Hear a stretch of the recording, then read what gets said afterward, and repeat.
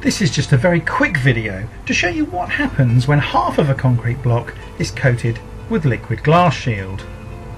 As you can see, there's a very clear difference between the uncoated and the coated parts of the block.